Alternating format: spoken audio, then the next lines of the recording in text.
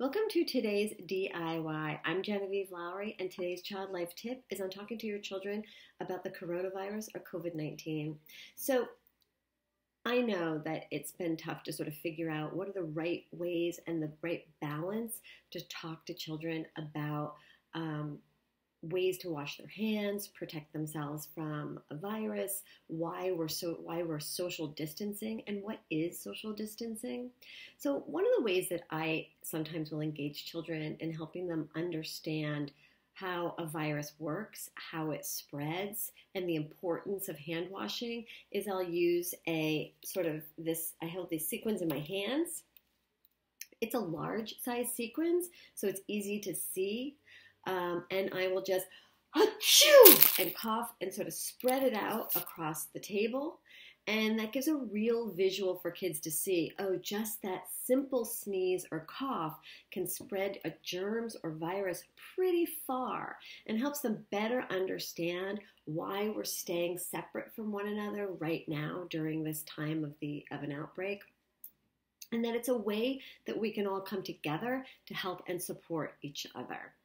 So it's kind of just a fun activity to sort of sneeze it all out and show kids why it's really important that we also be washing our hands. You can demonstrate to kids that when they touch surfaces that the um, that the sequence sticks to their hand the same way that a virus would also stick to their hand, and that by washing our hands with soap and water helps to get rid of those germs on our hands so that we don't give it to ourselves or spread it to other people some other fun activities that I was thinking about when I was sort of trying to figure out what are the what are ways that we can kind of lighten the mood a little bit, but also come together and helping our children better understand what's going on in their lives. Um, with all the changes that are happening, staying home from school, uh, parents not going to work, and helping kids really understand and create a safe space for them to talk about um, what is a virus? What's coronavirus? What's social distancing? Right? So, some things that I thought about was I made my own uh, virus bingo game. Now, granted, my drawings are not particularly great. They're not, um, I'm not the world's greatest artist, but you get the idea. There's an H for hospital.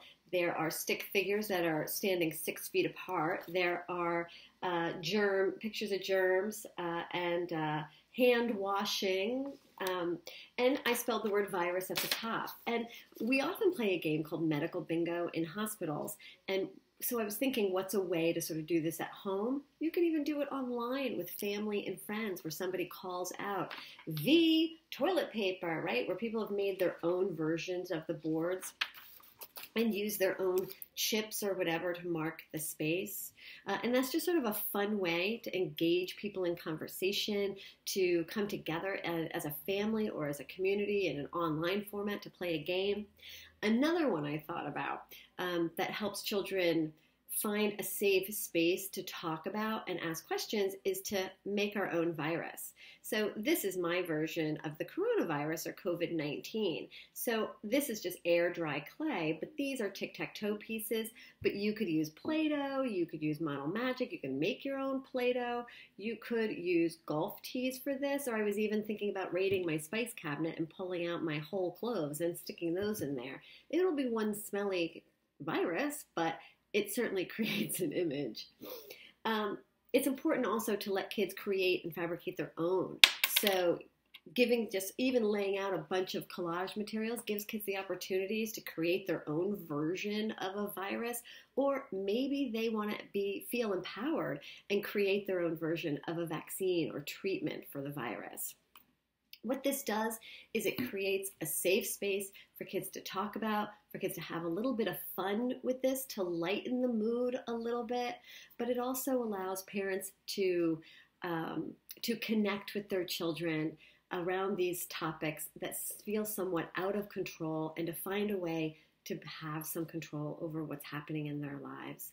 It's really important as parents to answer children's questions honestly, uh, but to also be mindful of how we talk about and describe uh, where this disease came from, how it happened, that we want to be really careful that we're not creating stereotypes or biases of people and that we're being that we're creating a sense of um, coming together, that this is a time for us to function as a team, both as a, as a family team, a community team, and looking at the world, that we all need to come together at a time and really think about what are ways that we can help and support one another. It's also really important for you to always be reassuring your children as well that there are doctors and scientists that are working on better understanding how the disease spreads, how to treat it, and some are also working on a vaccine. So I hope that you find a little bit of fun and a little bit of humor in a somewhat of a dark time. That it's really important to help kids find ways to talk about and express and feel control over something that feels really out of control. So thank you very much for coming to today's DIY, talking to children about the coronavirus or COVID 19.